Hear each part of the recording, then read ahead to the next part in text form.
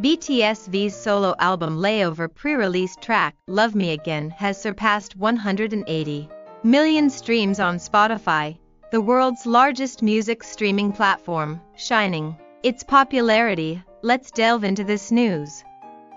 Love Me Again, released on various music sites on August 11th, topped the iTunes charts in 35 countries including Austria, Bulgaria, and Romania. On the same day, Rainy Days clinched the number one spot on the iTunes Top Songs charts in 70 countries worldwide, including the US, UK, Germany, and France. Both tracks not only dominated domestic music charts but also secured first and second positions on Japan's Oricon Daily Digital Rank. On Spotify's Daily Top Songs Global, they respectively grabbed the 10th and 12th spots on the Oricon chart, dated August 11th. Rainy Days and Love Me Again directly secured the first and second spots on the daily digital single ranking. V's Love Me Again music video garnered a whopping 39.69 million views during the K-pop Radar's third week of August, from August 10th to August 16th,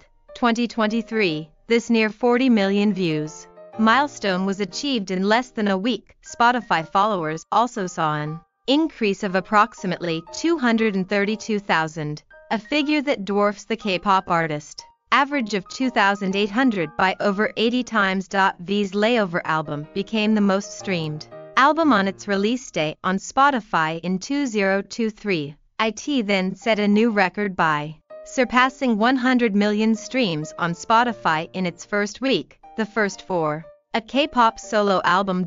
V has consistently released music distinct from BTS, proving his musical prowess as a singer-songwriter.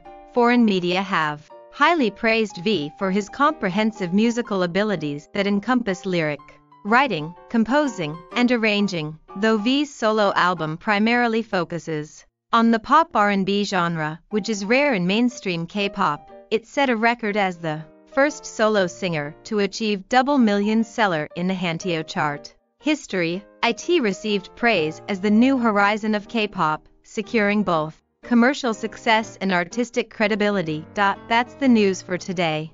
If you enjoyed this video, please hit the like button, subscribe, and turn on notifications. Thank you. Goodbye.